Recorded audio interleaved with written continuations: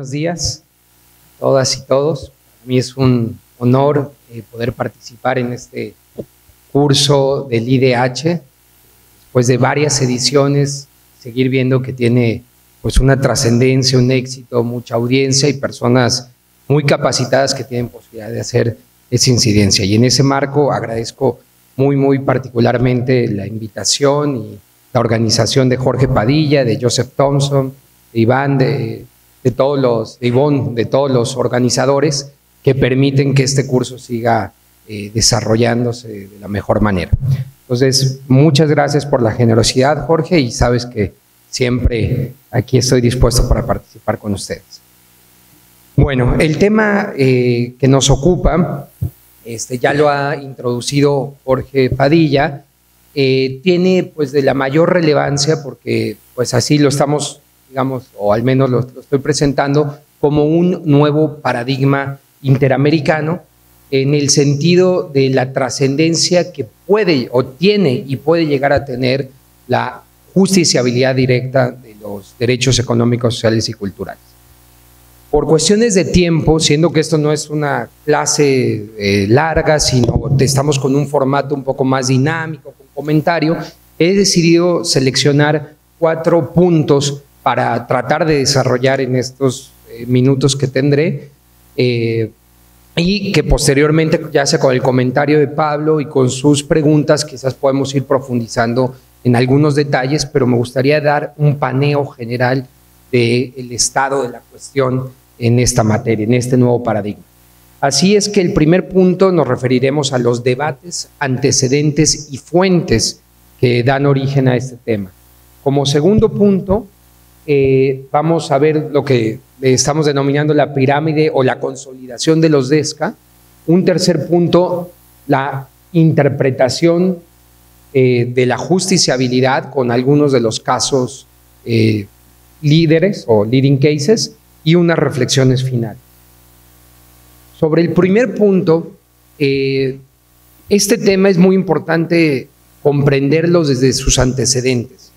Y ¿Qué es lo que genera eh, pues el surgimiento de los derechos humanos como un reconocimiento a nivel internacional? Pues sabemos que es la posguerra. Después de la Segunda Guerra Mundial, las comunidades internacionales se organizan para decir es necesario que tengamos un catálogo mínimo de reconocimiento de derechos fundamentales que independientemente del partido, la ideología, el gobierno que se tenga, tenemos que respetar.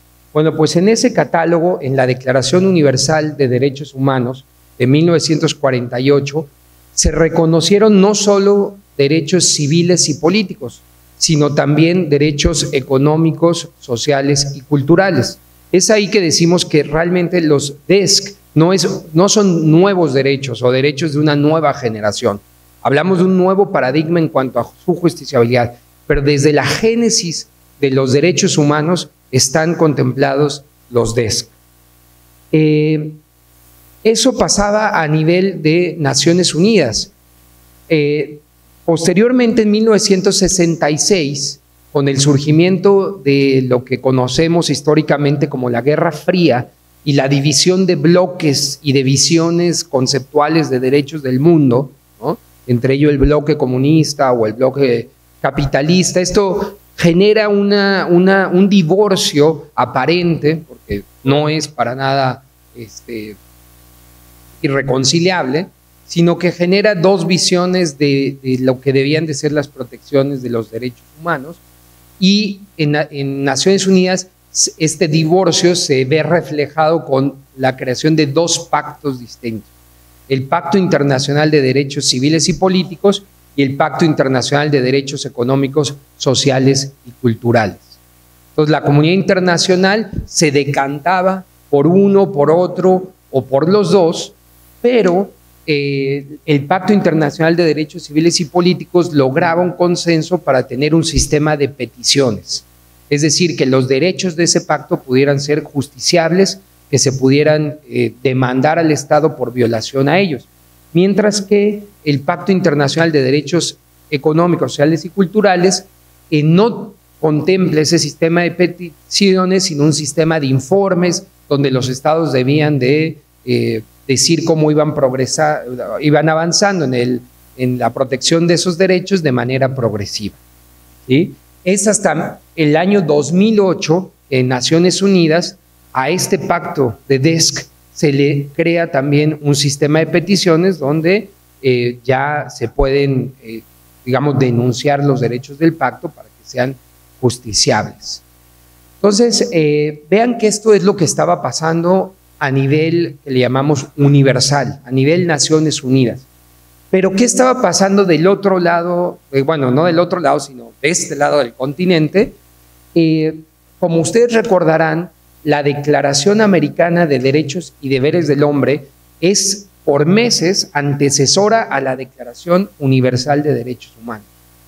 Es decir, el primer catálogo internacional de derechos humanos es la Declaración Americana sobre Derechos y Deberes del Hombre, que rige para todos los Estados miembros de la OEA.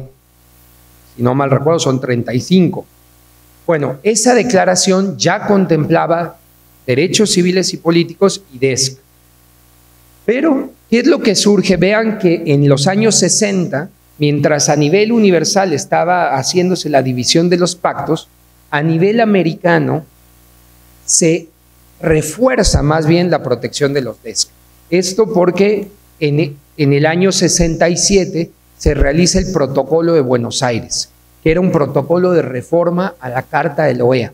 Y en ese protocolo de Buenos Aires se acuerda por parte de los estados que se debe de incluir un catálogo, o sea que en la, Carta de la OEA se debe de incorporar un catálogo de derechos, eh, de deberes, de normas, bueno, tiene diferentes acepciones, que es lo que crea parte de este debate, pero en materia de, lo que hoy conocemos como DESCA, y hablaba de, de ciencia, educación, cultura, etcétera.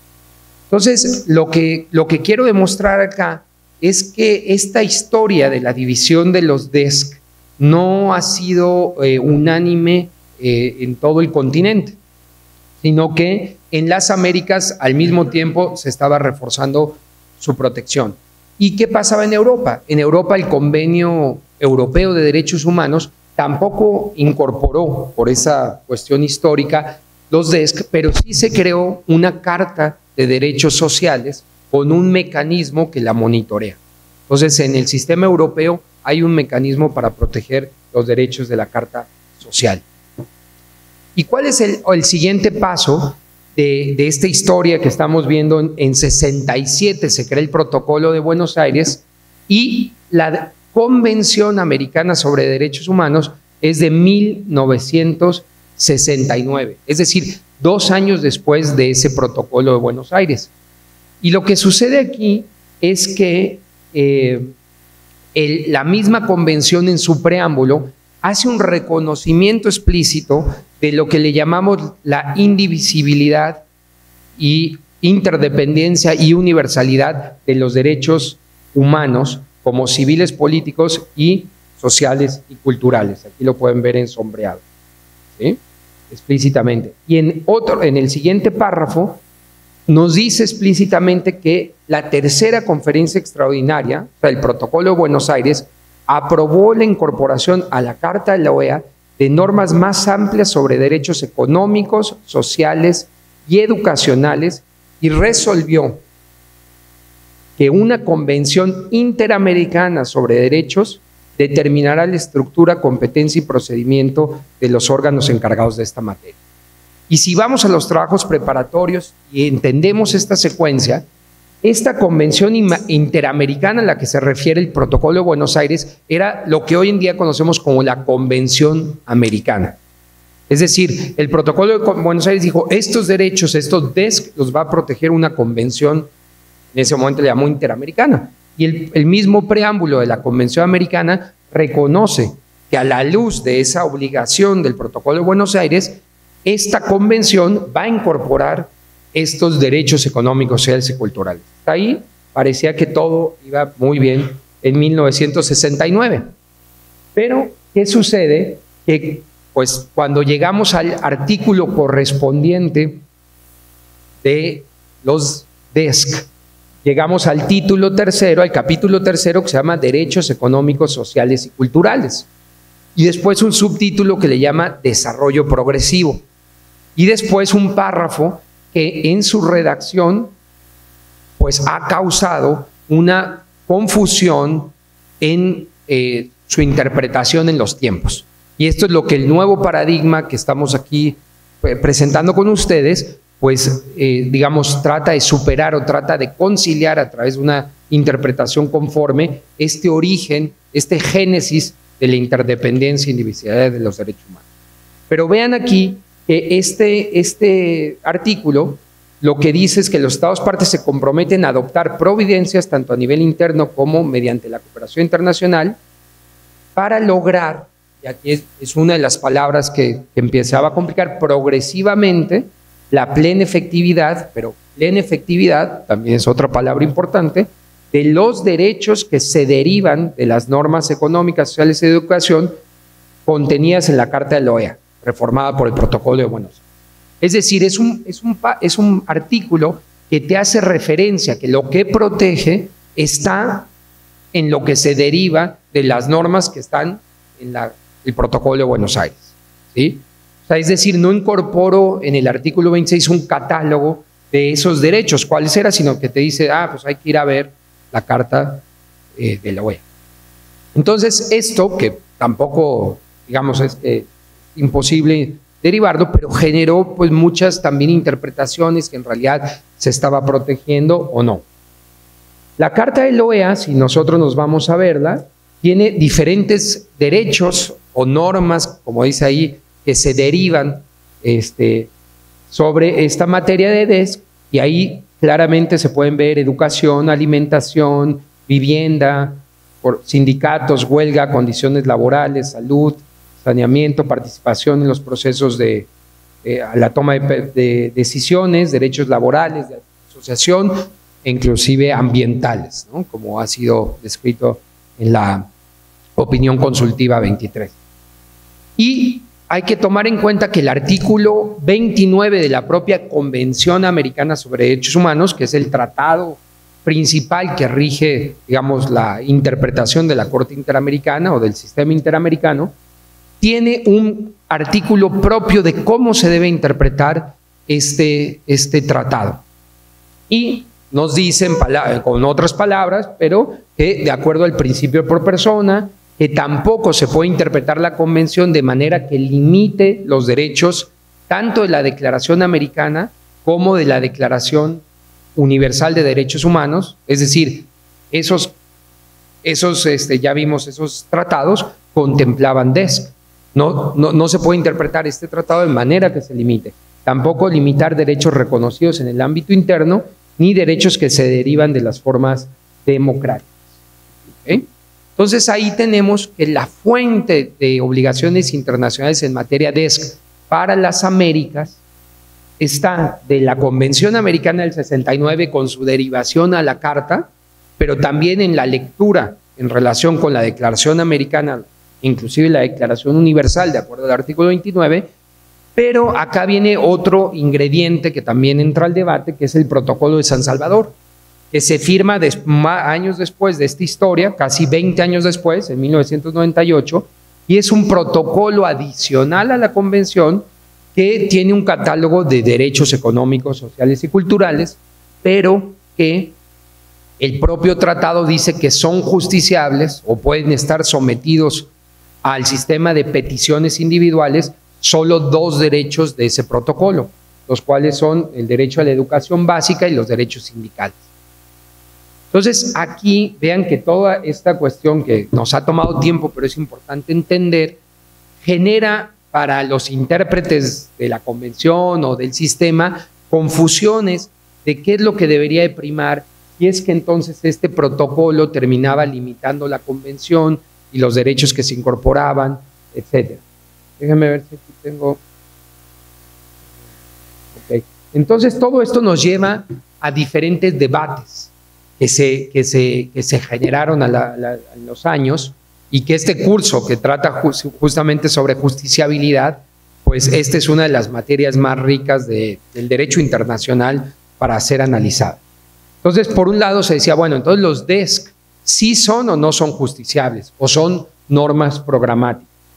Bueno, en cada dado caso de ser justiciables, son solamente progresivos, son deben ser tutelados de progresivamente o tienen componentes de carácter eh, inmediato que se deben de tutelar. O la justiciabilidad que se les puede dar más bien es de manera indirecta, a través de otros derechos que sí tienen como contenido y catálogo. Y en dado caso que hay una justiciabilidad indirecta, ah, bueno, ya lo dijimos, por obligaciones progresivas o obligaciones inmediatas, y de qué manera la progresividad de la que se habla puede ser exigible. O sea, es simplemente la voluntad de los estados que vaya alcanzando metas o eso se puede judicializar. Tienen delante de sí un maravilloso equipo de personas profesionales que están muy entusiastas además en el, en el saber y en el intercambio de información con ustedes.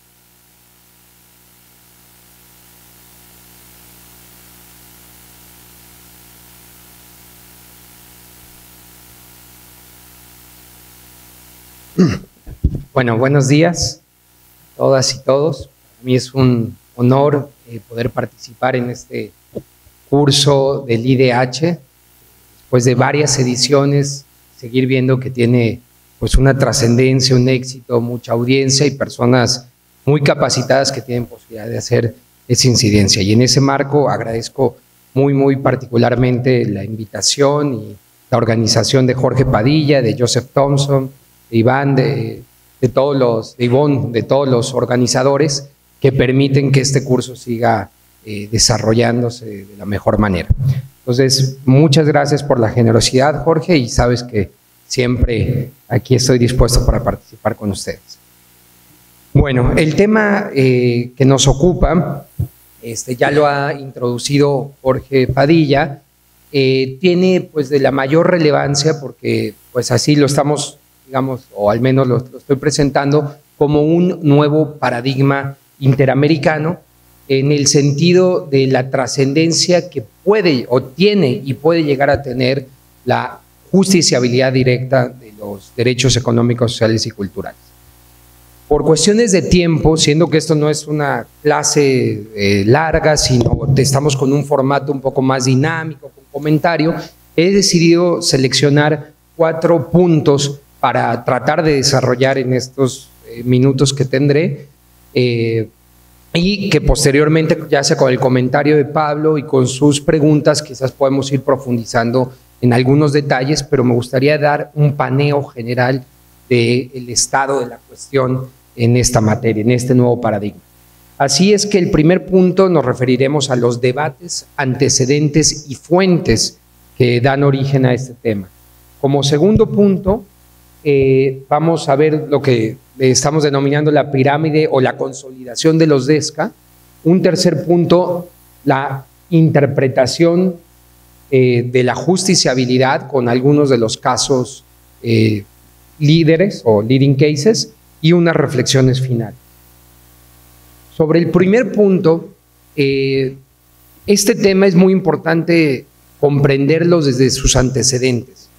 Y ¿Qué es lo que genera eh, pues el surgimiento de los derechos humanos eh, como un reconocimiento a nivel internacional? Pues sabemos que es la posguerra. Después de la Segunda Guerra Mundial, las comunidades internacionales se organizan para decir es necesario que tengamos un catálogo mínimo de reconocimiento de derechos fundamentales que independientemente del partido, la ideología, el gobierno que se tenga, tenemos que respetar.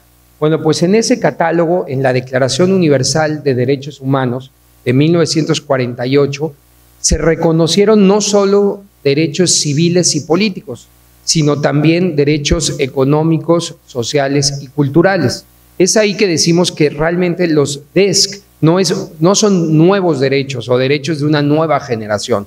Hablamos de un nuevo paradigma en cuanto a su justiciabilidad, pero desde la génesis de los derechos humanos están contemplados los DESC. Eh, eso pasaba a nivel de Naciones Unidas.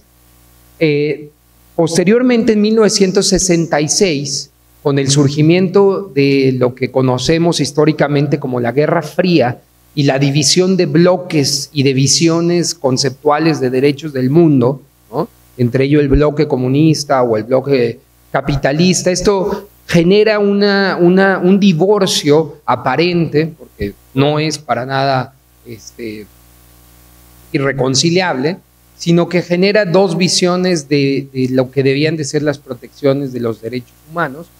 Y en Naciones Unidas este divorcio se ve reflejado con la creación de dos pactos distintos. El Pacto Internacional de Derechos Civiles y Políticos y el Pacto Internacional de Derechos Económicos, Sociales y Culturales. Entonces la comunidad internacional se decantaba por uno, por otro o por los dos, pero eh, el Pacto Internacional de Derechos Civiles y Políticos lograba un consenso para tener un sistema de peticiones. Es decir, que los derechos de ese pacto pudieran ser justiciables, que se pudieran eh, demandar al Estado por violación a ellos mientras que el Pacto Internacional de Derechos Económicos, Sociales y Culturales eh, no contempla ese sistema de peticiones, sino un sistema de informes donde los estados debían de eh, decir cómo iban, avanzando en, el, la protección de esos derechos de manera progresiva. Es hasta el año 2008 en Naciones Unidas a este pacto de DESC se le crea también un sistema de peticiones donde eh, ya se pueden, eh, digamos, denunciar los derechos del pacto para que sean justiciables. Entonces, eh, vean que esto es lo que estaba pasando a nivel que le llamamos universal, a nivel Naciones Unidas. Pero ¿qué estaba pasando del otro lado? bueno, no del otro lado, sino de este lado del continente. como ustedes recordarán, la Declaración Americana de Derechos y Deberes del Hombre es por meses antecesora a la Declaración Universal de Derechos Humanos.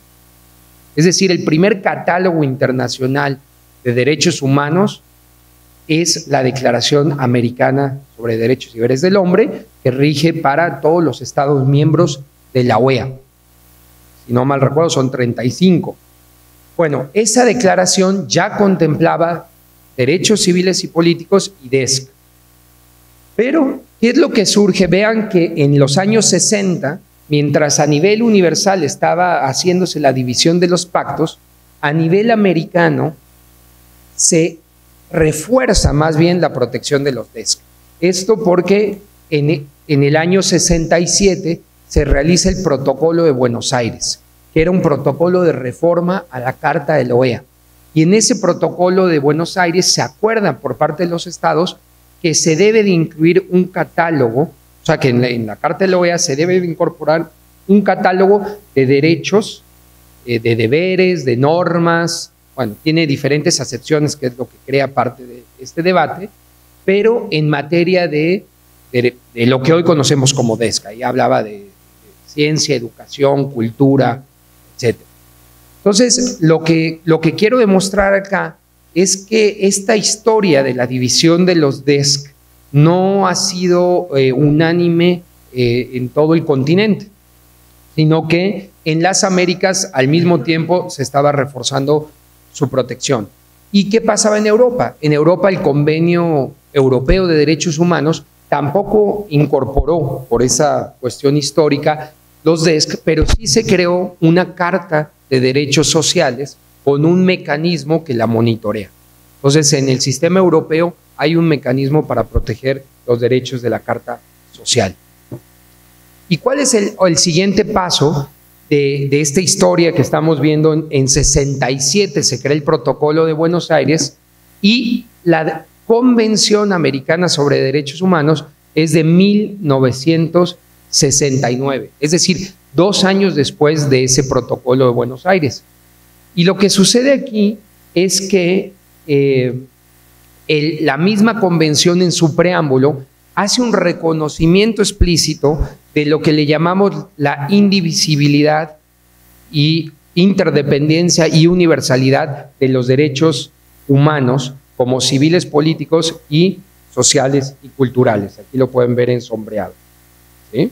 Explícitamente. Y en, otro, en el siguiente párrafo nos dice explícitamente que la tercera conferencia extraordinaria, o sea, el protocolo de Buenos Aires, aprobó la incorporación a la Carta de la OEA de normas más amplias sobre derechos económicos, sociales y educacionales y resolvió que una convención interamericana sobre derechos determinará la estructura, competencia y procedimiento de los órganos encargados de esta materia. Y si vamos a los trabajos preparatorios y entendemos esta secuencia, esta convención interamericana a la que se refiere el Protocolo de Buenos Aires era lo que hoy en día conocemos como la Convención Americana.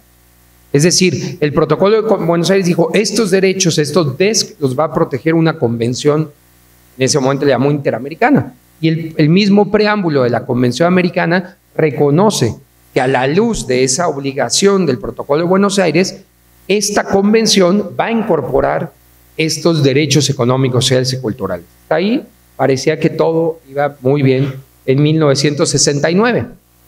Pero, ¿qué sucede? Que pues cuando llegamos al artículo correspondiente de los DESC, llegamos al título tercero, al capítulo tercero que se llama Derechos Económicos, Sociales y Culturales.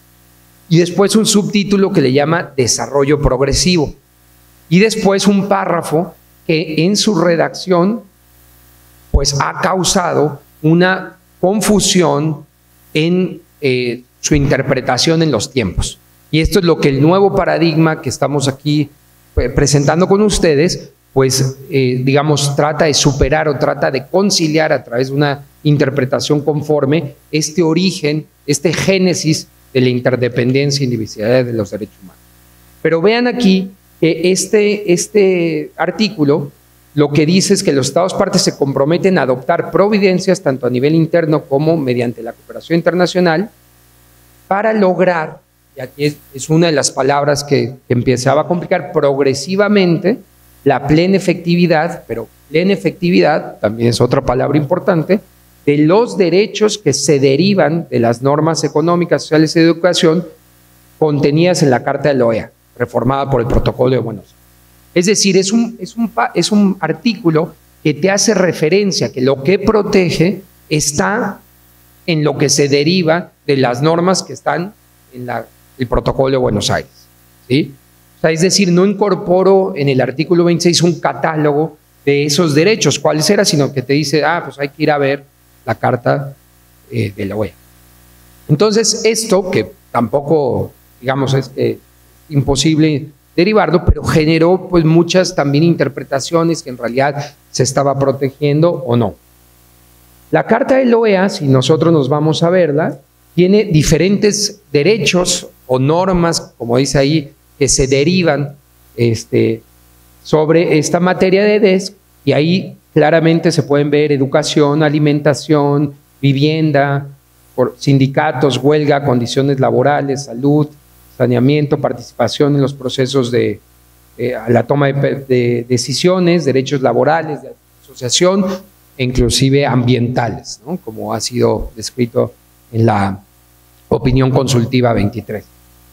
Y hay que tomar en cuenta que el artículo 29 de la propia Convención Americana sobre Derechos Humanos, que es el tratado principal que rige, digamos, la interpretación de la Corte Interamericana o del sistema interamericano, tiene un artículo propio de cómo se debe interpretar este, este tratado.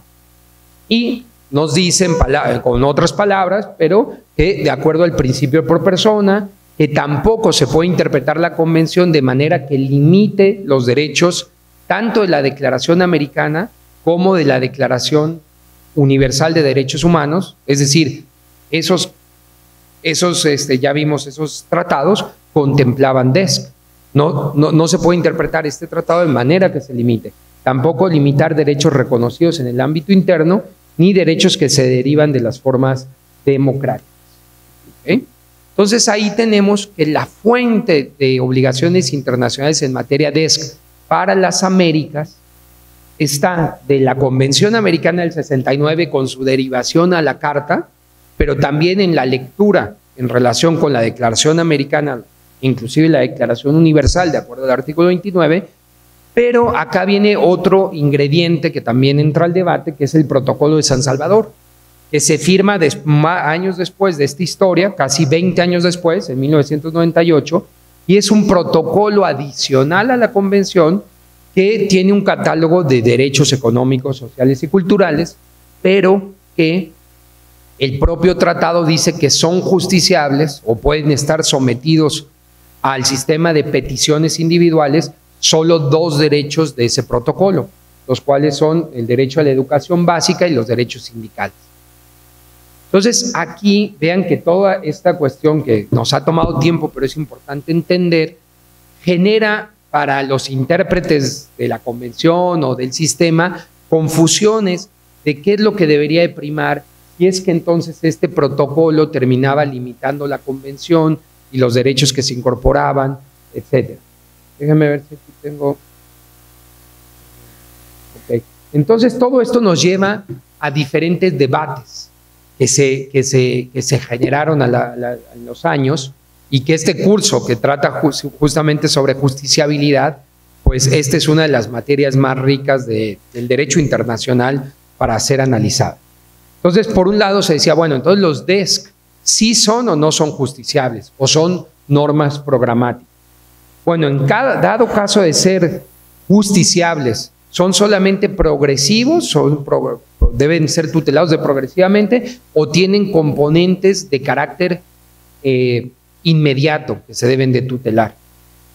O la justiciabilidad que se les puede dar más bien es de manera indirecta, a través de otros derechos que sí tienen como contenido y catálogo.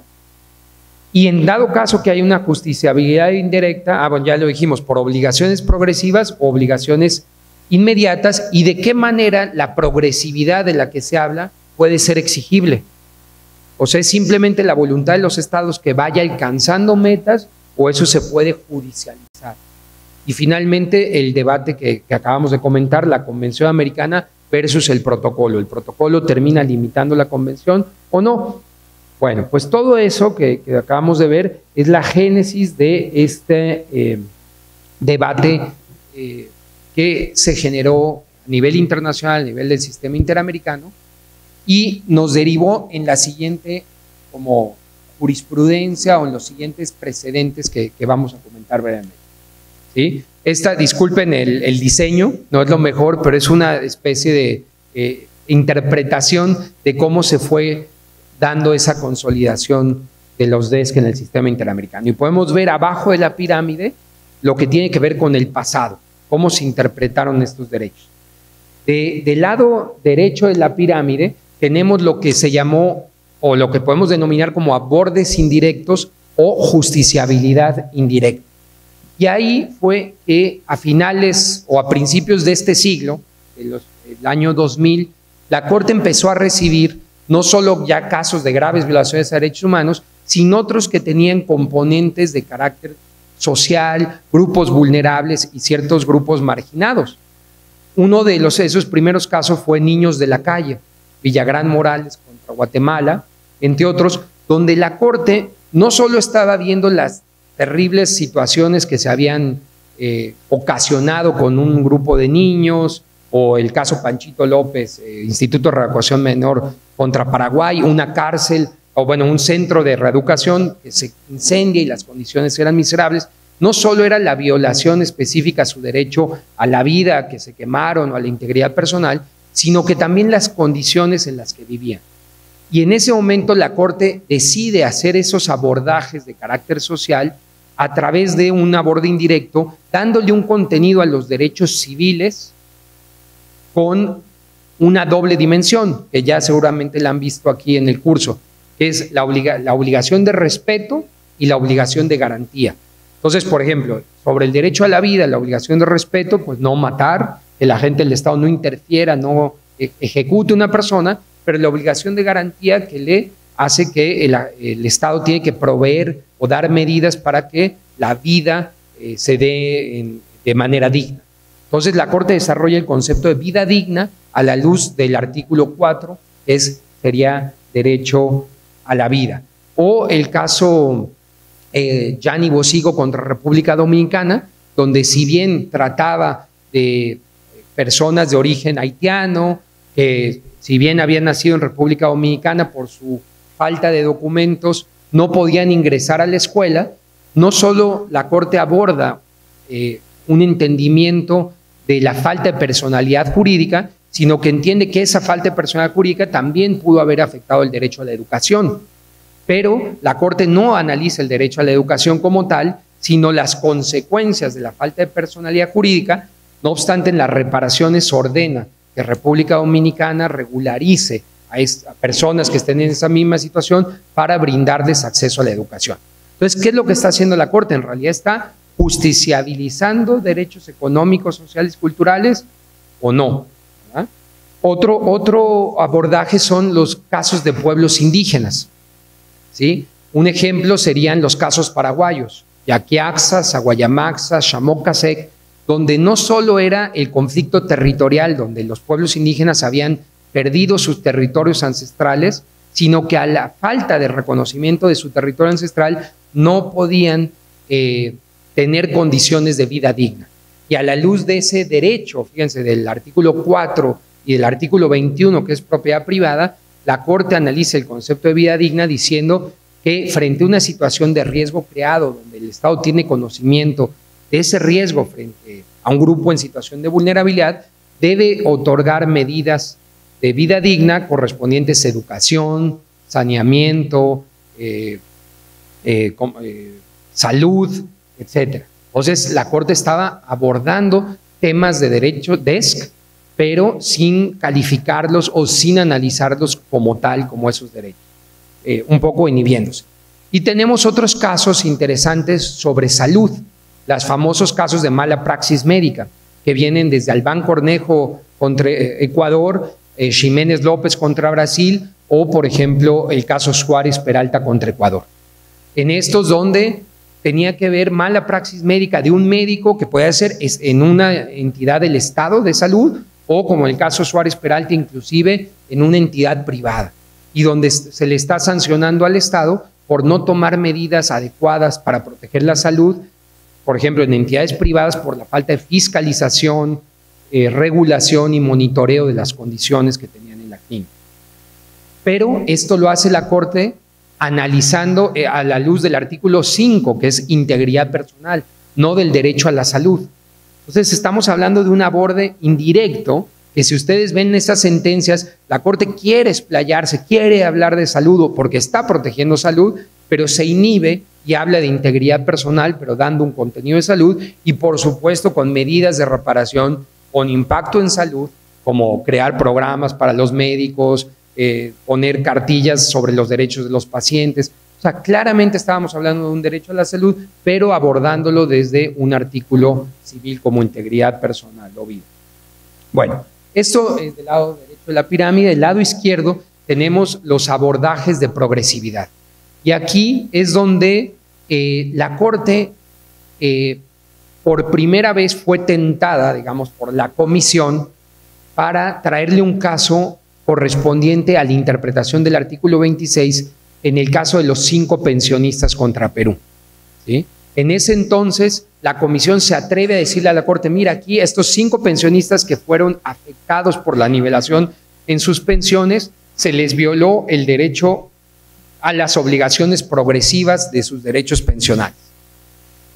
En ese momento la Corte no sabe mucho qué hacer con, con el tema, con la interpretación que estamos viendo, y decide más bien evitar el tema. No decir que no tiene competencia, no decir que no es un tema de DESC, sino decir que el caso no ameritaba para analizar progresividad. ¿Por qué? Porque se trataba solamente sobre un grupo pequeño de pensionistas, que eran cinco, como el caso se llama, y para analizar este tipo de medidas, pues se tenía que ver a la luz de, de cuestiones que afectara a un mayor número de personas, entre otras cosas. Ahí hay votos interesantes que nos hacen ver como lo que estaba pensando la Corte. El chiste es que no entra a analizar eso la Corte Interamericana. Y años después, ya la comisión no se vuelve a atrever a traer casos con el artículo 26, y años después, eh, las víctimas que ya podrían también alegar ciertos derechos, se le alega en el caso Acevedo Buendía eh, el artículo 26. También un caso relacionado a grupos de trabajadores donde las leyes de Perú que cambiaban las nivelaciones de pensiones les afectaba a los trabajadores, para, digamos, simplificar eh, la litis. Y en ese caso, eh, eh, Perú sí dice, bueno, no, yo voy a dejar claro que tu corte no tienes eh, no tienes competencia para pronunciarte sobre violaciones del artículo 26, porque no es un derecho justiciable. ¿Sí? Entonces, eso era la excepción preliminar de Perú. Eso da la oportunidad a la Corte, en excepciones preliminares de ese caso, de pronunciarse al respecto y, determinar que no, que efectivamente sí tenía competencia, que tanto los trabajos preparatorios como los documentos que hemos analizado le daban competencia eh, sobre el artículo 26, el título del artículo 26 era derechos económicos, sociales y culturales, estaba cobijado por las obligaciones del 1.1 y del 2, y bueno, que por lo tanto sí tenía competencia. Más, al entrar al fondo del asunto, la Corte había analizado el tema de las pensiones a la luz del artículo 21, que es propiedad privada. Y cuando llega el artículo 26 dice, no, pero bueno, ya lo analicé a la luz del artículo 21 y del 25, eh, porque había una falta de ejecución de una sentencia interna, y por lo tanto ya no amerita que lo analice a la luz del artículo 26, y también da algunos otros parámetros de cómo un caso podría ser analizado por cuestión de progresividad. Pero hasta ahí, digamos, ahí terminaba hasta hace tres años la historia de la Corte del tema de progresividad y de los abordes indirectos. Después empieza aquí en la pirámide central un caso donde los representantes traen eh, el caso González Yui. ¿sí? En el caso González Yui ya era una niña que había sido eh, contagiada con el virus del VIH-Sida por una transfusión sanguínea. Y eh, todo esto no solo le había aparejado las afectaciones en su salud, sino también en su acceso a la educación y la discriminación que sufrió eh, en varios sectores, entre ellos educación, salud, etc. Bueno, esto la Corte se da cuenta que aquí era un tema de educación y por, por cierto, el protocolo de San Salvador sí le daba facultad para pronunciarse sobre tema de educación y por lo tanto es el primer y único caso, bueno, el primer caso más bien, donde la Corte Interamericana interpreta las obligaciones de educación del Estado, por primera vez llamándole educación, pero a la luz del protocolo de San Salvador, que sí le permitía entrar, era uno de los derechos sobre los cuales tenía competencia. Bueno, y después entonces llega el año 2017, ¿sí? el caso Lagos del Campo. En el caso Lagos del Campo, eh, la, Comisión Interamericana había presentado este caso principalmente como un caso de libertad de expresión en las relaciones laborales. ¿Esto por qué? Era un, señor que era, digamos, para no complejizarlo, un líder sindical, en Perú se llamaba una asociación que tenía representación de trabajadores, no era propiamente un sindicato, pero él era el presidente del comité electoral de esa asociación. Y eh, él había llamado a elecciones y en un medio gremial de trabajadores público denuncia que la patronal estaba interfiriendo en esa elección y hace alusión a palabras como a través del chantaje y la coerción a los trabajadores. Esto era una empresa privada en Perú y con motivo de eso lo llaman y le, lo despiden o lo separan de su relación laboral porque había eh, incurrido en eh, la causal de infracciones o, o ah, eh, ¿cómo se llama? bueno, como ofensas contra el empleador. Entonces, la comisión postulaba este caso como un caso de libertad de expresión, donde un trabajador, por hacer su, digamos, vaya la redundancia, por hacer su trabajo, termina siendo despedido.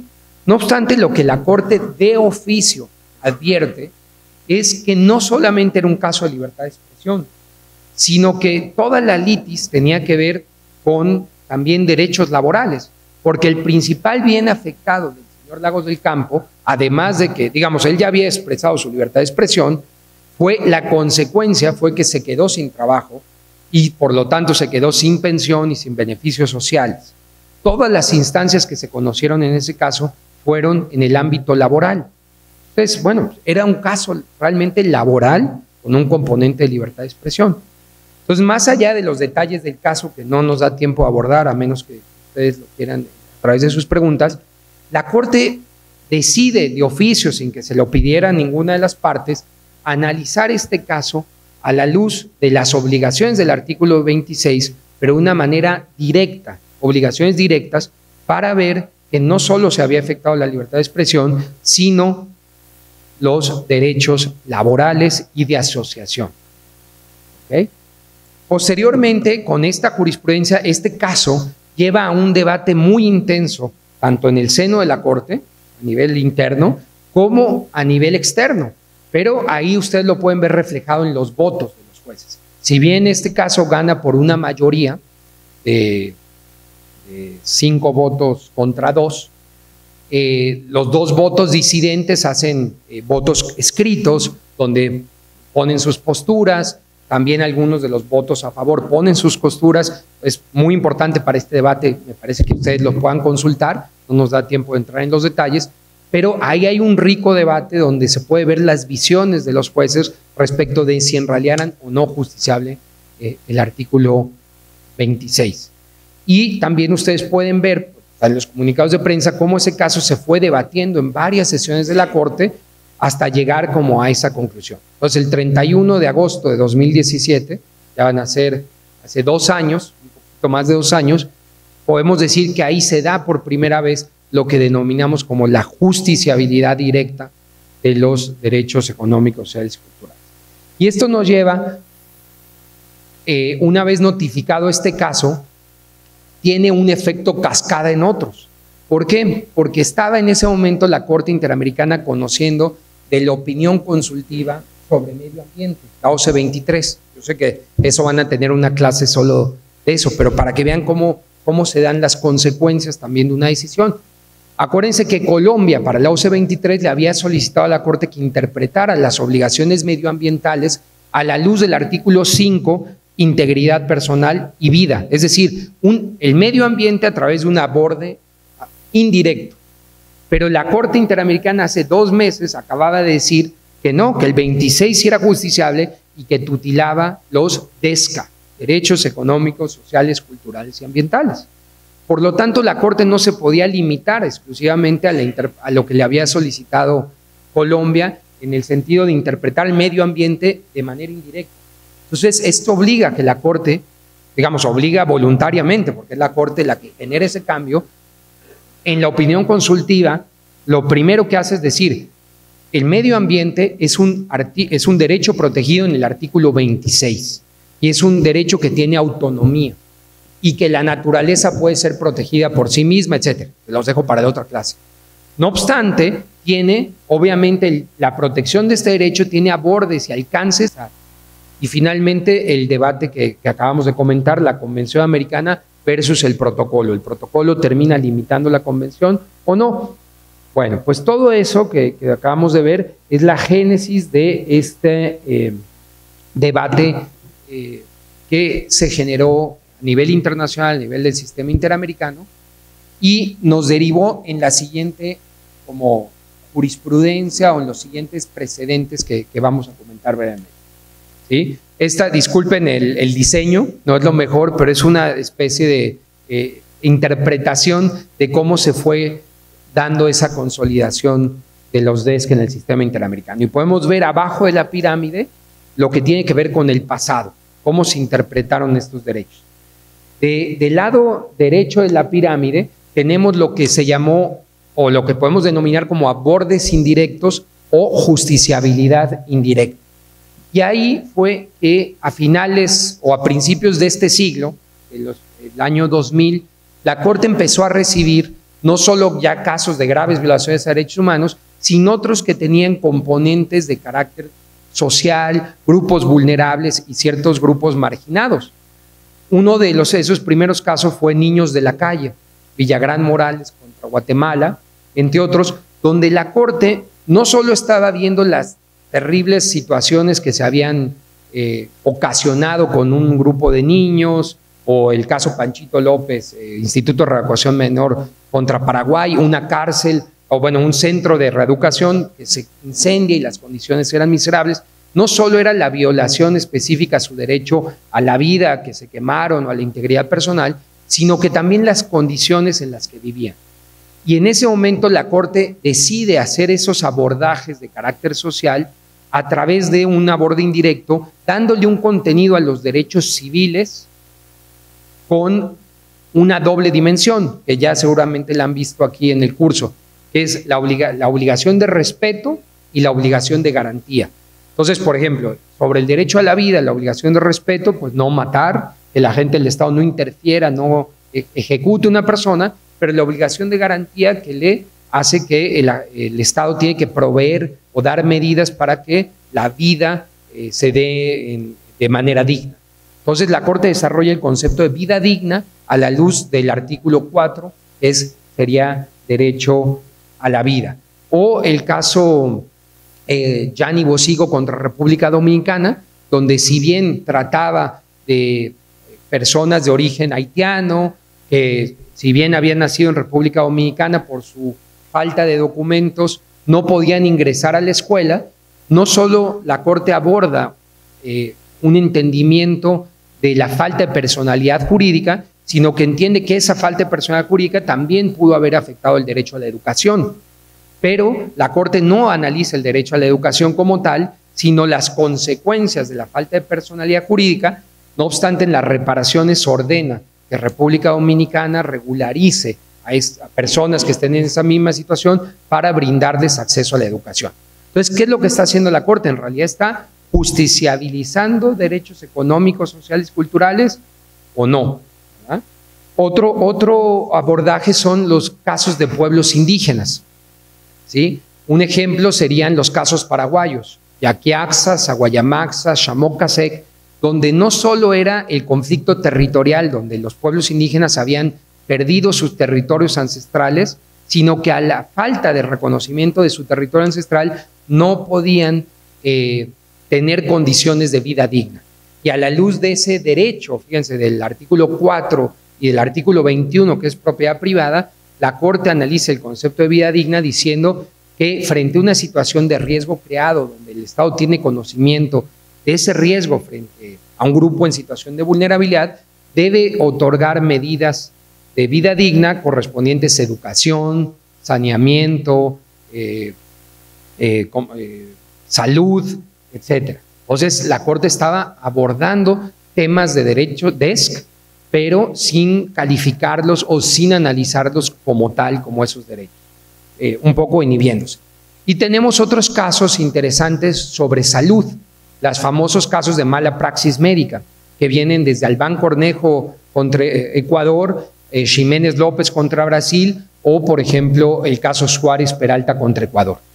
En estos donde tenía que ver mala praxis médica de un médico que puede ser en una entidad del Estado de salud o como el caso Suárez Peralta, inclusive en una entidad privada, y donde se le está sancionando al Estado por no tomar medidas adecuadas para proteger la salud, por ejemplo, en entidades privadas por la falta de fiscalización, eh, regulación y monitoreo de las condiciones que tenían en la clínica.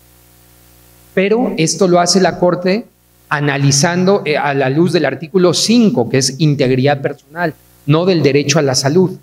Entonces estamos hablando de un aborde indirecto que si ustedes ven esas sentencias, la Corte quiere explayarse, quiere hablar de salud porque está protegiendo salud, pero se inhibe y habla de integridad personal, pero dando un contenido de salud y por supuesto con medidas de reparación con impacto en salud, como crear programas para los médicos, eh, poner cartillas sobre los derechos de los pacientes. O sea, claramente estábamos hablando de un derecho a la salud, pero abordándolo desde un artículo civil como integridad personal o vida. Bueno, esto es del lado derecho de la pirámide. Del lado izquierdo tenemos los abordajes de progresividad.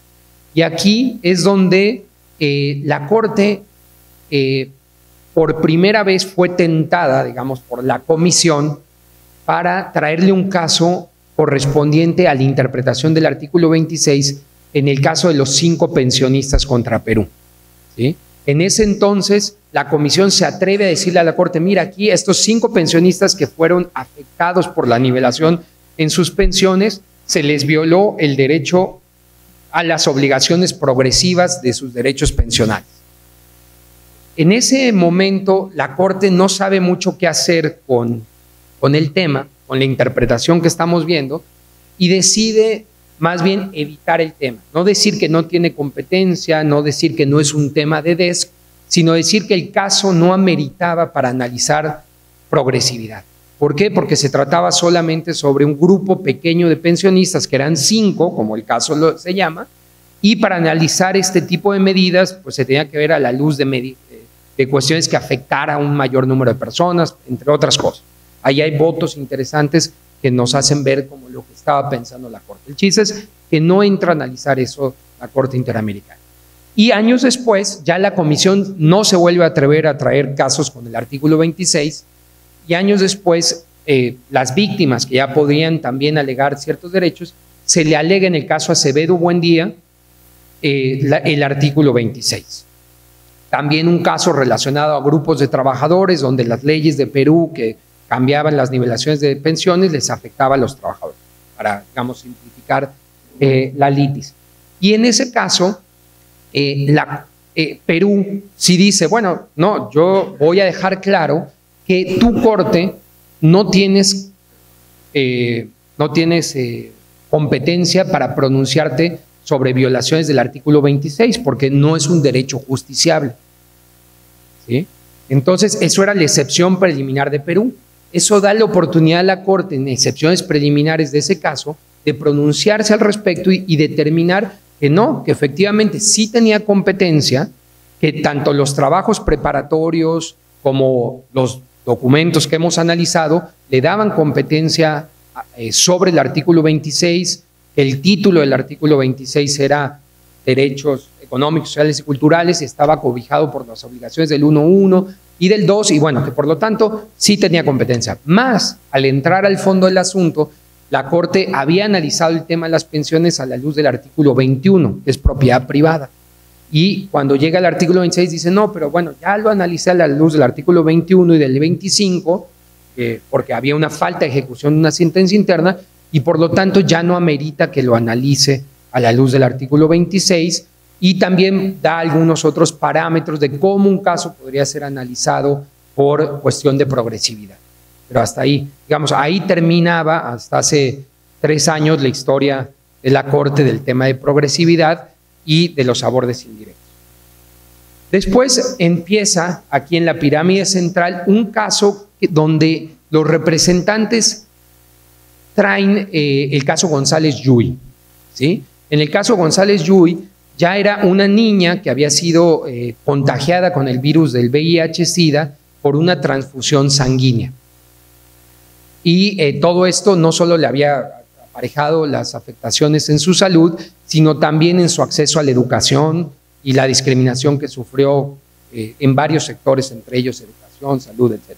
Bueno, esto la Corte se da cuenta que aquí era un tema de educación y por por cierto, el protocolo de San Salvador sí le daba facultad para pronunciarse sobre tema de educación y por lo tanto es el primer y único caso, bueno, el primer caso más bien, donde la Corte Interamericana interpreta las obligaciones de educación del Estado, por primera vez llamándole educación, pero a la luz del protocolo de San Salvador, que sí le permitía entrar, era uno de los derechos sobre los cuales tenía competencia.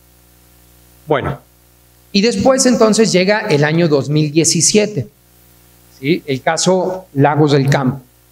En el caso Lagos del Campo, eh, la, Comisión Interamericana había presentado este caso principalmente como un caso de libertad de expresión en las relaciones laborales. ¿Esto por qué? Era un señor que era, digamos, para no complejizarlo, un líder sindical. En Perú se llamaba una asociación que tenía representación de trabajadores, no era propiamente un sindicato, pero él era el presidente del comité electoral de esa asociación. Y eh, él había llamado a elecciones y en un medio gremial de trabajadores público denuncia que la patronal estaba interfiriendo en esa elección y hace alusión a palabras como a través del chantaje y la coerción a los trabajadores. Esto era una empresa privada en Perú y con motivo de eso lo llaman y le, lo despiden o lo separan de su relación laboral porque había eh, incurrido en eh, la causal de infracciones o, o ah, eh, ¿cómo se llama? Bueno, como ofensas contra el empleador. Eh, entonces, la comisión postulaba este caso como un caso de libertad de expresión, donde un trabajador, por hacer su, digamos, por hacer su trabajo, termina siendo despedido.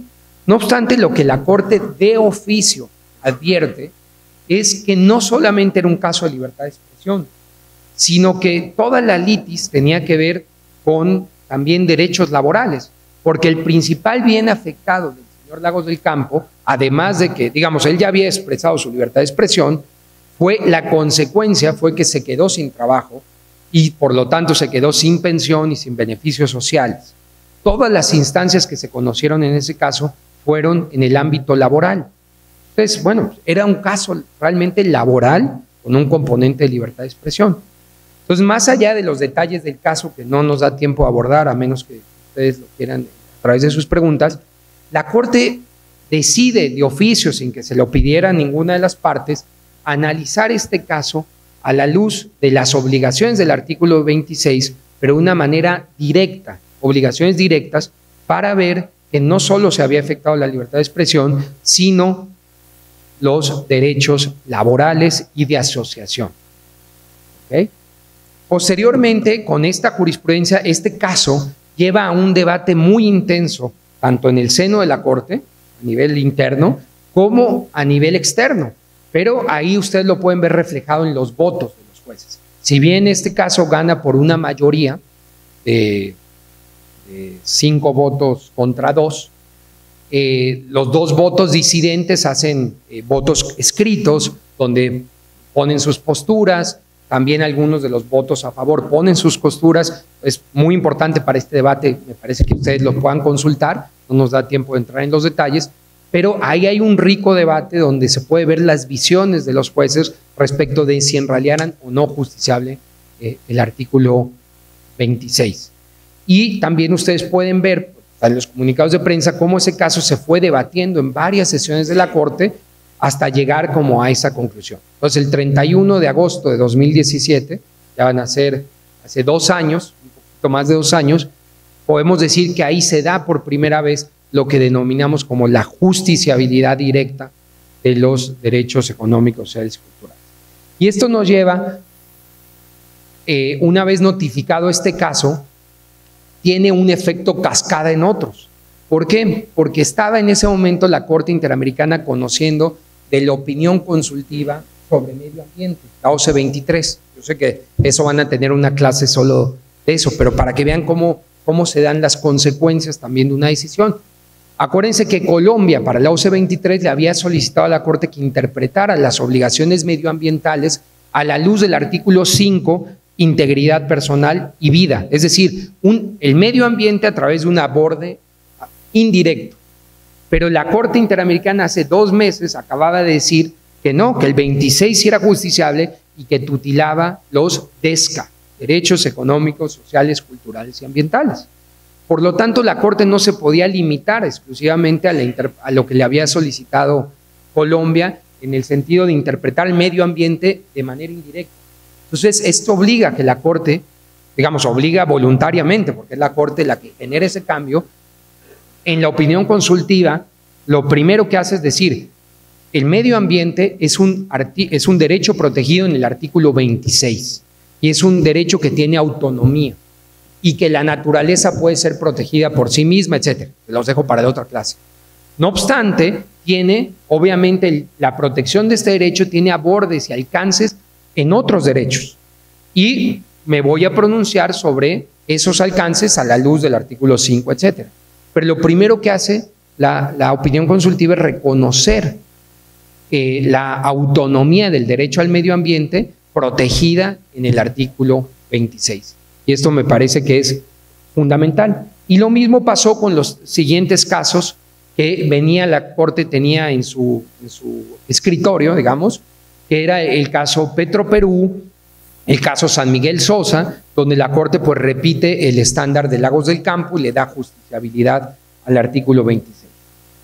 Y después, por ahí de marzo, llega otro caso importante, o la Corte tiene que decidir el leading case en materia de salud, que es el caso Poblete Vilches, donde trataba sobre un señor en Chile adulto mayor, o como ahora se llama persona mayor, que eh, había sido internado en un hospital público en Santiago y eh, se le había dado este, pues ya algunas eh, cuestiones paliativas, pero lo dan de alta, se, después se determina que es una alta temprana, y con motivo de eso se empeora en su casa, tiene que regresar de emergencia al hospital y le dicen, mire, ya usted ya fue atendido, le habían diagnosticado que tenía que estar en cuidados intensivos, y dicen, no hay espacio en cuidados intensivos, le tendríamos que dar un respirador y una cama, pero pues no, no, ya usted ya tuvo su oportunidad, lo dejan en cuidados intermedios y muere el señor en un pasillo del hospital eh, a, los pocos días.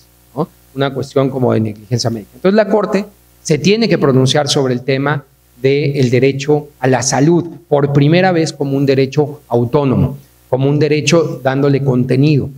Y eh, digamos, más allá de que no nos da tiempo a abordar el contenido de la sentencia, pues eh, es, este sería el leading case o la primera vez que la Corte le da contenido al derecho a la salud, hablando eh, como, como tal y, viendo su alcance y definición.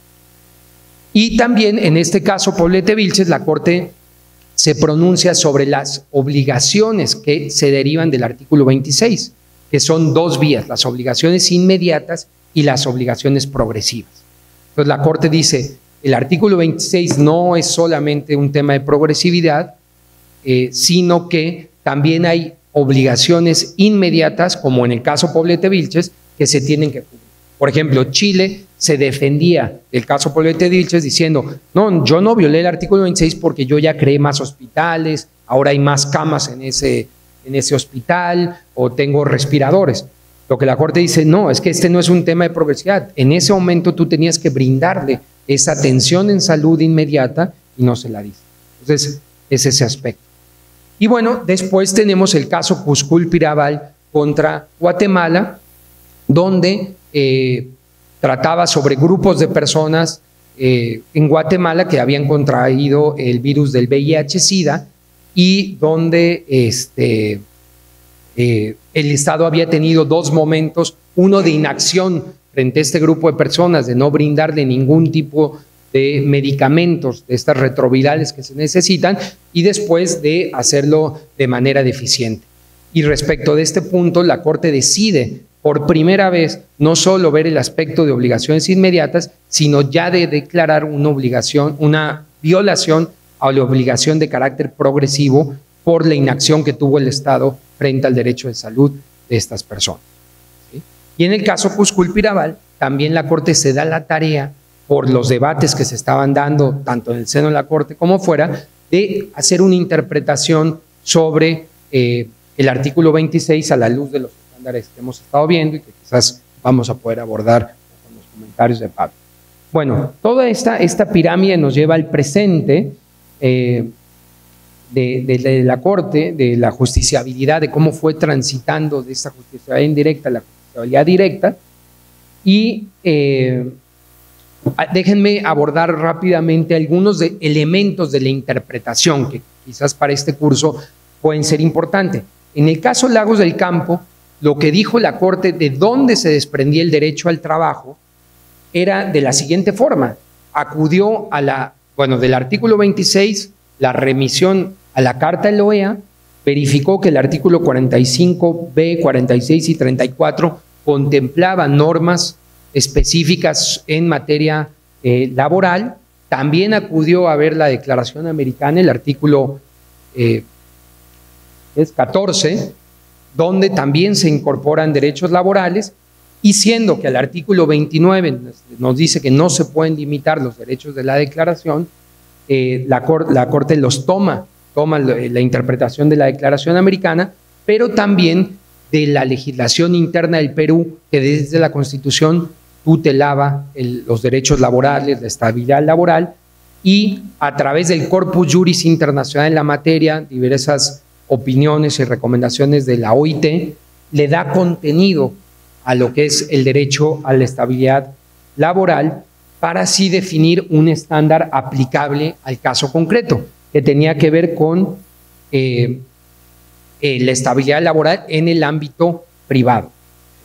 Y ahí se determina, o sea, toda esa, esa, no, esa cuestión interpretativa nos lleva a que la Corte ubique obligaciones específicas que los estados tienen que cumplir frente a posibles afectaciones a la estabilidad laboral, como adoptar medidas sobre la debida regulación y fiscalización, proteger a los trabajadores a través contra el despido injustificado, en el caso de un despido injustificado, remediar la situación y que haya mecanismos efectivos de reclamo. Es decir, cuando hablamos de justiciabilidad de los DESCA, no se trata simplemente de hacer la alusión del artículo o del derecho que creo que está protegido en el artículo 26 y de ahí eh, hacer una subsunción, sino que hay que darle contenido y alcance a ese derecho.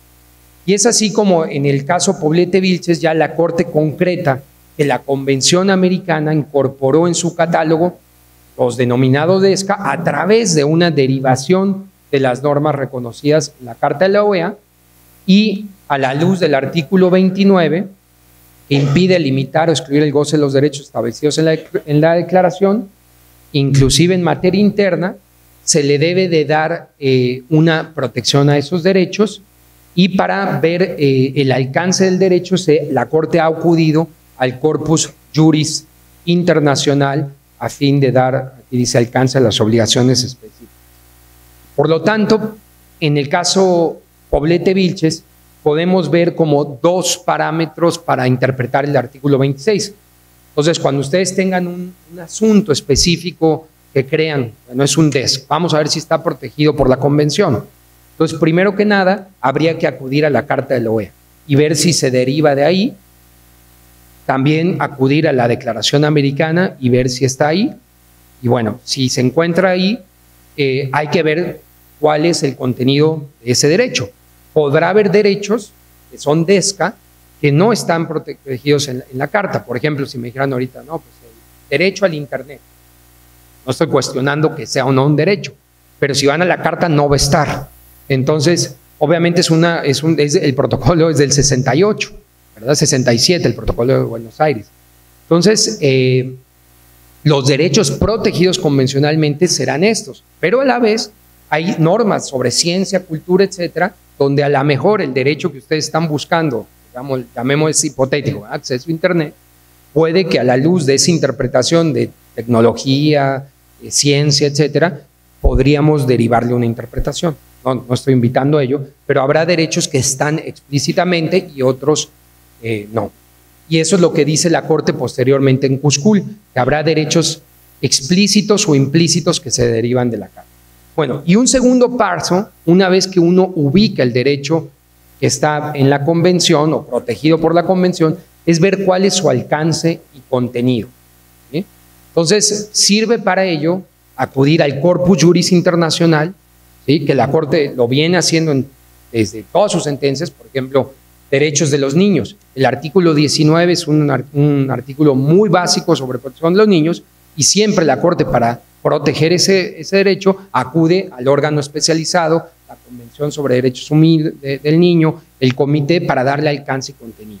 Eso está desde la opinión consultiva 1 sobre otros tratados. Se usan otros tratados para dar contenido y alcance propio. Pero también verlo, la legislación interna, si lo tiene contemplado. Recordemos que la Convención Americana no puede limitar derechos que están reconocidos en el derecho interno. Pues ahí también hay un juego interpretativo de algo que aunque no esté explícito en la convención o en la carta o en la declaración, puede estar reconocido internamente, también se le pueda brindar un cierto tipo de tutela. Y de ahí habrá que ver cuál es el estándar que se deriva, ¿sí? Y si este estándar es de obligaciones inmediatas o progresivas. Bueno, acá este, ya por tiempo mejor voy a ir cerrando, pero para que quede claro que tanto en Poblete Vilches como en Cuscul, la Corte desarrolló lo que entiende por las obligaciones progresivas, cómo se deben de cumplir, máxime después de 40 años del tratado, ¿verdad? O sea, progresividad no es ve algún día lo alcanzarás, sino es tienes que tomar medidas concretas y específicas para alcanzar esos derechos y eso puede ser exigido. Y paréntesis, ya saben que en la OEA existe un grupo de trabajo sobre indicadores de progresividad en diversos derechos que sirve para poder ver cómo se va avanzando progresivamente. Y obligaciones inmediatas, que es que los estados adopten medidas adecuadas a fin de garantizar el acceso sin discriminación a las prestaciones reconocidas por cada derecho. Estas tienen que ser adecuadas, deliberadas y concretas.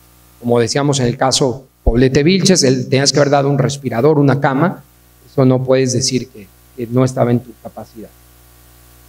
Bueno, y ya vimos que en Cuscul eh, la, falta de progresividad se dio con la inacción. Entonces, que no actúa un Estado afecta progresividad. Y aquí podemos ver simplemente un cuadro comparativo del pasado y el, presente. El pasado era protección indirecta de los derechos civiles y políticos. Hoy en día la Corte lo está haciendo de oficio, pero obviamente cada vez se está sofisticando más el litigio para una justiciabilidad directa.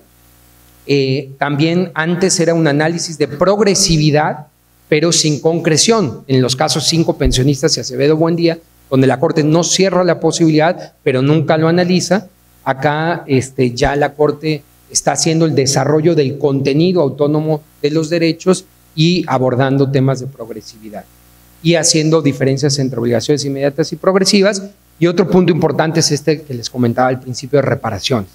O sea, ¿qué pasaba en los abordes indirectos? Que las reparaciones, digamos, terminaban siendo inconsistentes o carentes de nexo causal porque estaban reparando un DESC, pero sin haberse pronunciado sobre el DESC, un derecho civil y político.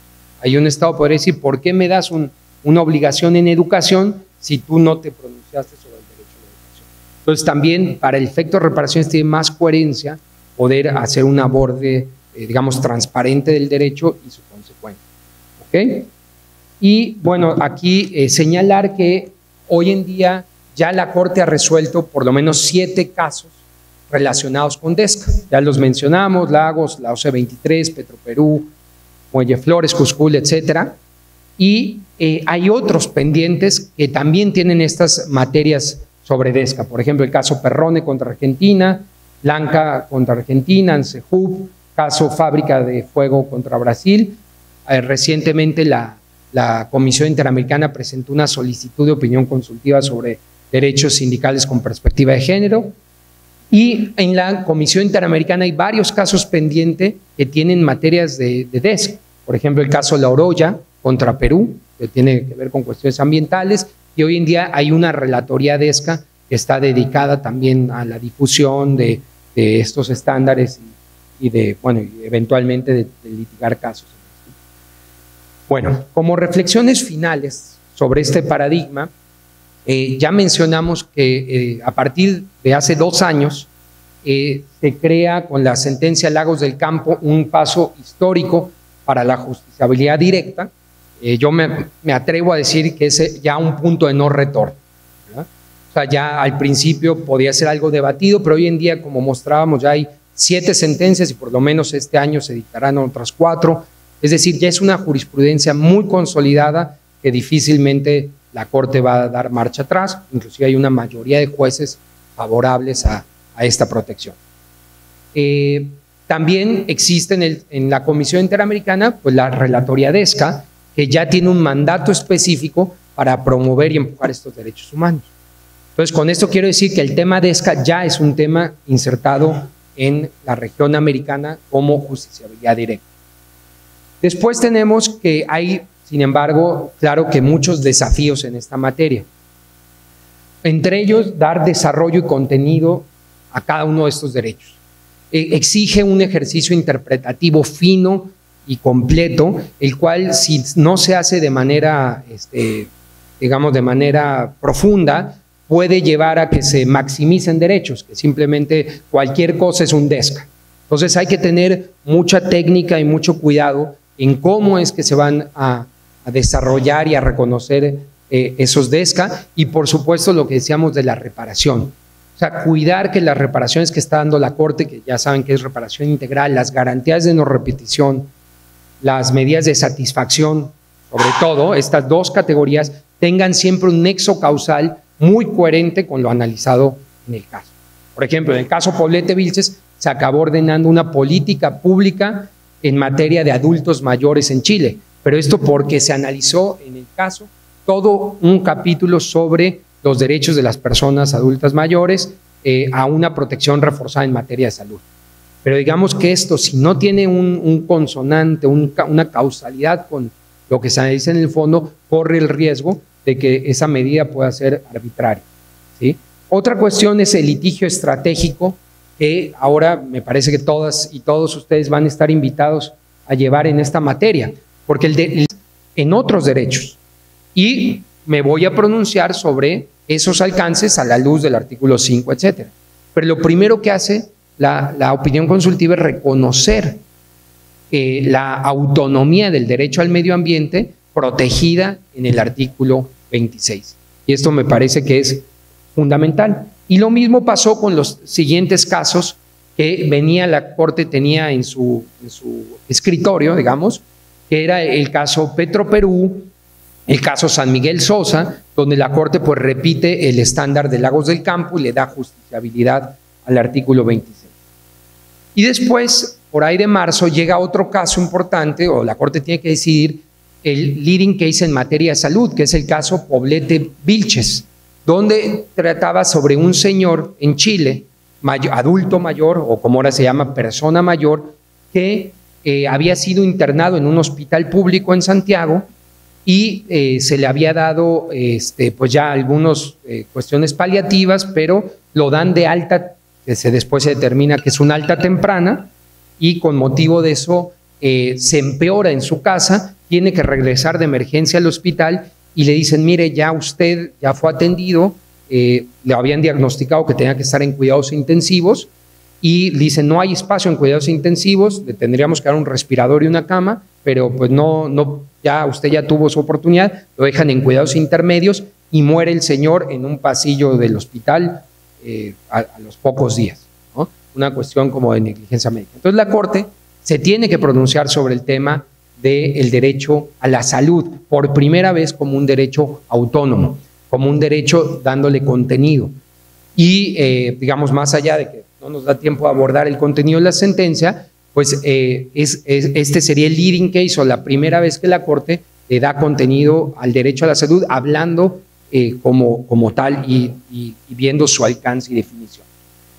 Y también en este caso, Poblete Vilches, la Corte se pronuncia sobre las obligaciones que se derivan del artículo 26, que son dos vías, las obligaciones inmediatas y las obligaciones progresivas. Entonces la Corte dice, el artículo 26 no es solamente un tema de progresividad, eh, sino que también hay obligaciones inmediatas, como en el caso Poblete Vilches, que se tienen que cubrir. Por ejemplo, Chile se defendía del caso Poblete Vilches diciendo, no, yo no violé el artículo 26 porque yo ya creé más hospitales, ahora hay más camas en ese, en ese hospital o tengo respiradores. Lo que la Corte dice, no, es que este no es un tema de progresividad. En ese momento tú tenías que brindarle esa atención en salud inmediata y no se la dice. Entonces, es ese aspecto. Y bueno, después tenemos el caso Cuscul Pirabal contra Guatemala, donde eh, trataba sobre grupos de personas eh, en Guatemala que habían contraído el virus del VIH-Sida y donde este, eh, el Estado había tenido dos momentos, uno de inacción frente a este grupo de personas, de no brindarle ningún tipo de medicamentos, de estas retrovirales que se necesitan, y después de hacerlo de manera deficiente. Y respecto de este punto, la Corte decide por primera vez no solo ver el aspecto de obligaciones inmediatas, sino ya de declarar una obligación, una violación a la obligación de carácter progresivo por la inacción que tuvo el Estado frente al derecho de salud de estas personas. Y en el caso Cusculpiraval, también la Corte se da la tarea, por los debates que se estaban dando, tanto en el seno de la Corte como fuera, de hacer una interpretación sobre eh, el artículo 26 a la luz de los estándares que hemos estado viendo y que quizás vamos a poder abordar con los comentarios de Pablo. Bueno, toda esta, esta pirámide nos lleva al presente eh, de, la Corte, de la justiciabilidad, de cómo fue transitando de esta justiciabilidad indirecta a la directa. Y eh, déjenme abordar rápidamente algunos de elementos de la interpretación que quizás para este curso pueden ser importantes.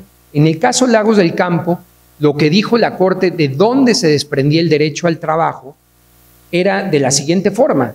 Acudió a la Bueno, del artículo 26, la remisión a la Carta de la OEA verificó que el artículo 45b, 46 y 34 contemplaba normas específicas en materia eh, laboral.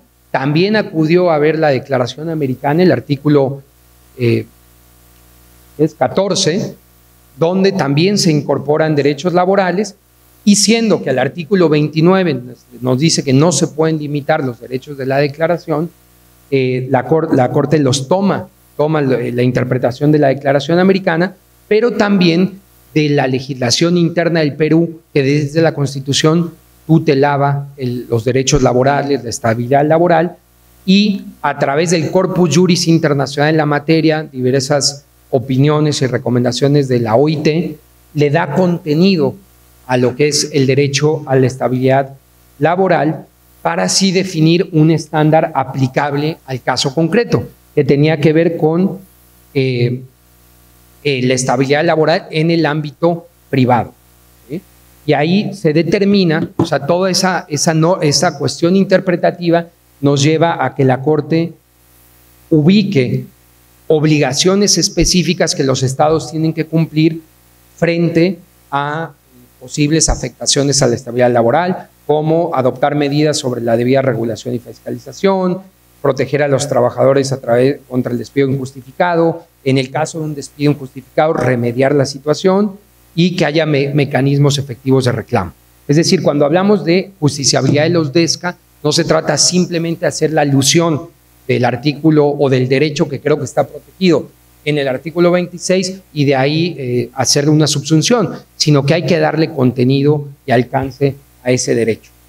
Y es así como en el caso Poblete Vilches ya la Corte concreta que la Convención Americana incorporó en su catálogo los denominados DESCA a través de una derivación de las normas reconocidas en la Carta de la OEA y a la luz del artículo 29 que impide limitar o excluir el goce de los derechos establecidos en la, declaración, inclusive en materia interna, se le debe de dar eh, una protección a esos derechos y para ver eh, el alcance del derecho, la Corte ha acudido al corpus juris internacional a fin de dar, aquí dice, alcance a las obligaciones específicas.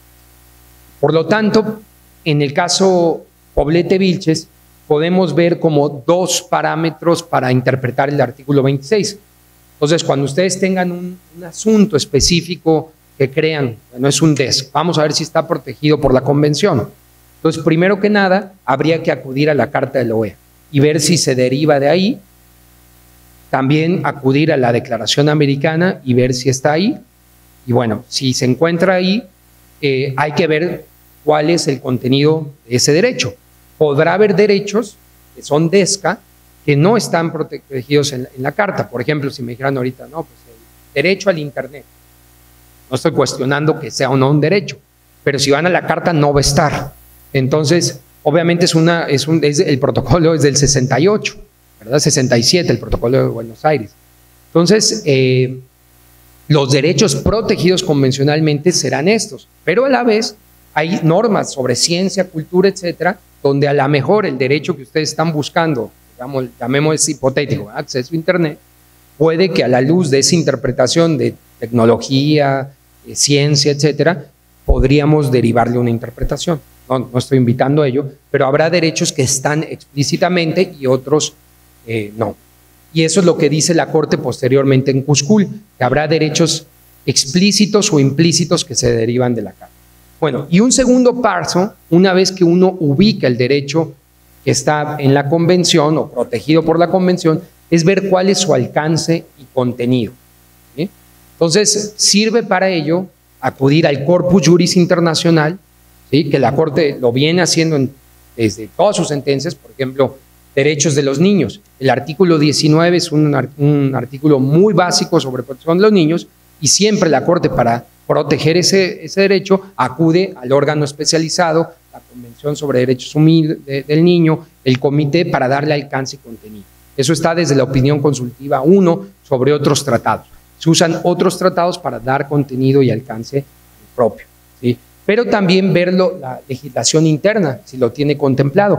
Recordemos que la convención americana no puede limitar derechos que están reconocidos en el derecho interno. Entonces ahí también hay un juego interpretativo de algo que aunque no esté explícito en la convención o en la carta o en la declaración, puede estar reconocido internamente, también se le pueda brindar un cierto tipo de tutela. Y de ahí habrá que ver cuál es el estándar que se deriva, ¿sí? Y si este estándar es de obligaciones inmediatas o progresivas. Bueno, acá este, ya por tiempo mejor voy a ir cerrando, pero para que quede claro que tanto en Poblete Vilches como en Cuscul, la Corte desarrolló lo que entiende por las obligaciones progresivas, cómo se deben de cumplir, máxime después de 40 años del tratado, ¿verdad? O sea, progresividad no es ve algún día lo alcanzarás, sino es tienes que tomar medidas concretas y específicas para alcanzar esos derechos y eso puede ser exigido. Y paréntesis, ya saben que en la OEA existe un grupo de trabajo sobre indicadores de progresividad en diversos derechos que sirve para poder ver cómo se va avanzando progresivamente. Y obligaciones inmediatas, que es que los estados adopten medidas adecuadas a fin de garantizar el acceso sin discriminación a las prestaciones reconocidas por cada derecho. Estas tienen que ser adecuadas, deliberadas y concretas. Como decíamos en el caso Poblete Vilches, el, tenías que haber dado un respirador, una cama, eso no puedes decir que, no estaba en tu capacidad. Bueno, y ya vimos que en Cuscul eh, la, falta de progresividad se dio con la inacción. Entonces, que no actúa un Estado afecta a progresividad. Y aquí podemos ver simplemente un cuadro comparativo del pasado y el presente el pasado era protección indirecta de los derechos civiles y políticos, hoy en día la Corte lo está haciendo de oficio, pero obviamente cada vez se está sofisticando más el litigio para una justiciabilidad directa. Eh, también antes era un análisis de progresividad, pero sin concreción. En los casos cinco pensionistas y Acevedo Buendía, donde la Corte no cierra la posibilidad, pero nunca lo analiza, acá este, ya la Corte está haciendo el desarrollo del contenido autónomo de los derechos y abordando temas de progresividad y haciendo diferencias entre obligaciones inmediatas y progresivas. Y otro punto importante es este que les comentaba al principio de reparaciones. O sea, ¿qué pasaba en los abordes indirectos? Que las reparaciones, digamos, terminaban siendo inconsistentes o carentes de nexo causal porque estaban reparando un DESC, pero sin haberse pronunciado sobre el DESC, un derecho civil y político. Hay un Estado podría decir, ¿por qué me das una obligación en educación si tú no te pronunciaste sobre el derecho a la educación? Entonces también para el efecto de reparaciones tiene más coherencia poder hacer un aborde, eh, digamos, transparente del derecho y su consecuencia. ¿Ok? Y bueno, aquí eh, señalar que hoy en día ya la Corte ha resuelto por lo menos siete casos relacionados con DESCA. Ya los mencionamos, Lagos, la OC23, Petroperú, Muelle Flores, Cuscul, etcétera. Y eh, hay otros pendientes que también tienen estas materias sobre DESCA. Por ejemplo, el caso Perrone contra Argentina, Blanca contra Argentina, Ansehub, caso Fábrica de Fuego contra Brasil. Eh, recientemente la, Comisión Interamericana presentó una solicitud de opinión consultiva sobre derechos sindicales con perspectiva de género. Y en la Comisión Interamericana hay varios casos pendientes que tienen materias de, de. Por ejemplo, el caso La Oroya contra Perú, que tiene que ver con cuestiones ambientales. Y hoy en día hay una relatoría DESCA que está dedicada también a la difusión de, estos estándares y, de, bueno, eventualmente de, litigar casos. Bueno, como reflexiones finales sobre este paradigma, eh, ya mencionamos que eh, a partir de hace dos años eh, se crea con la sentencia Lagos del Campo un paso histórico para la justiciabilidad directa. yo me, atrevo a decir que es ya un punto de no retorno. O sea, ya al principio podía ser algo debatido, pero hoy en día, como mostrábamos, ya hay siete sentencias y por lo menos este año se dictarán otras cuatro. Es decir, ya es una jurisprudencia muy consolidada que difícilmente la Corte va a dar marcha atrás, inclusive hay una mayoría de jueces favorables a, esta protección. Eh, también existe en, la Comisión Interamericana pues la Relatoría DESCA, que ya tiene un mandato específico para promover y empujar estos derechos humanos. Entonces, con esto quiero decir que el tema DESCA ya es un tema insertado en la región americana como justiciabilidad directa. Después tenemos que hay sin embargo, claro que muchos desafíos en esta materia. Entre ellos, dar desarrollo y contenido a cada uno de estos derechos. E, exige un ejercicio interpretativo fino y completo, el cual si no se hace de manera, este, digamos, de manera profunda, puede llevar a que se maximicen derechos, que simplemente cualquier cosa es un DESCA. Entonces hay que tener mucha técnica y mucho cuidado en cómo es que se van a, desarrollar y a reconocer eh, esos DESCA y por supuesto lo que decíamos de la reparación. O sea, cuidar que las reparaciones que está dando la Corte, que ya saben que es reparación integral, las garantías de no repetición, las medidas de satisfacción, sobre todo, estas dos categorías, tengan siempre un nexo causal muy coherente con lo analizado en el caso.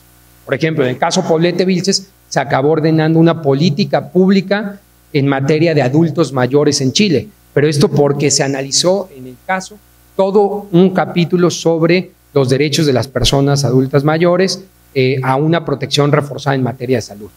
Pero digamos que esto, si no tiene un, consonante, una causalidad con lo que se dice en el fondo, corre el riesgo de que esa medida pueda ser arbitraria. ¿sí? Otra cuestión es el litigio estratégico, que ahora me parece que todas y todos ustedes van a estar invitados a llevar en esta materia, porque el, el desarrollo progresivo todavía es un tema pendiente. Sea, no ha llegado un caso litigado como tal, como un, litigio estratégico sobre desarrollo progresivo.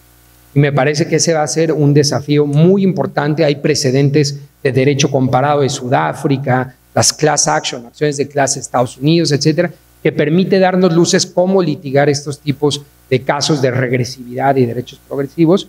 Y eh, eso va a ser muy interesante y sobre todo ahí ponía en materia de derechos difusos, como el derecho medio ambiente. Pero se presenta todo un catálogo de posibilidades. Otro punto es la interdisciplinariedad de este tema. O sea, los DESCA no es un tema solamente para abogados, no es un tema jurídico. Es un tema donde se requiere antropólogos, se requiere psicólogos, economistas, contadores, administradores, porque tiene que ver con política pública, ¿sí? porque tiene que ver con derechos que, que tienen una dimensión, como bien se llama, económica, social, cultural ambiental. Entonces, las especialidades interdisciplinarias son lo que le puede dar riqueza a este tema y la Corte Interamericana ha sido muy abierta a recibir peritajes de otra materia. No es un tribunal netamente jurídico, sino que escucha las diferentes disciplinas. Entonces, aquí una invitación a sus disciplinas.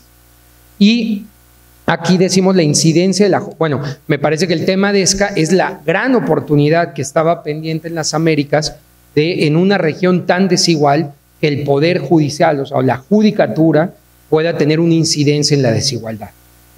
Y es aquí donde se puede empezar, eh, como lo han visto en muchas cortes constitucionales de nuestros países, Guatemala, Colombia, México, Argentina, Perú, etcétera, la protección de derechos sociales termina teniendo una implicación muy importante en la igualdad o la justicia social en la sociedad que no es ajena y antes se llegaba a pensar que la justicia no se debía meter con eso. Y finalmente, eh, el tema de la construcción de estos estándares me parece que se puede dar muy bien a través de la doctrina del control de convencionalidad. Es decir, no vamos a necesitar esperar a que los casos lleguen ante la Corte Interamericana, ante el sistema interamericano, para que finalmente la Corte se pronuncie sobre el derecho a la vivienda así era un poco la visión de antes. El control de convencionalidad nos invita que en nuestra jurisdicción interna, en la Defensoría del Pueblo, en, el juzgado donde alguien trabaja, en, el litigio estratégico interno, yo ya puedo estar interpretando o haciendo alusión a esa convención y la autoridad interna me tiene que interpretar la convención a la luz de estos DESCA, aunque la Corte Interamericana, último intérprete de la convención, no se haya pronunciado. Entonces, cerrando, es el tiempo de los DESCA, es el tiempo de que la jurisdicción interna, las autoridades internas, se pronuncien sobre ello, le den contenido y que se utilice los estándares de la Corte para bajarlos, pero también que la Corte vaya aprendiendo, es un diálogo jurisdiccional, jurisprudencial, de lo que ya han avanzado las Cortes internas para también dar contenido a sus sentencias. Esto me parece que brinda, digamos, sí, lo, por eso lo decimos como un nuevo paradigma, porque si creíamos que la Convención Americana tenía 25 artículos o 25 derechos tutelados, estamos hablando de que con esta jurisprudencia se duplicó el catálogo. Cuando está hablando de 50 derechos o más a ser interpretados, a ser protegidos. Y bueno, quedo a sus preguntas. Muchas gracias.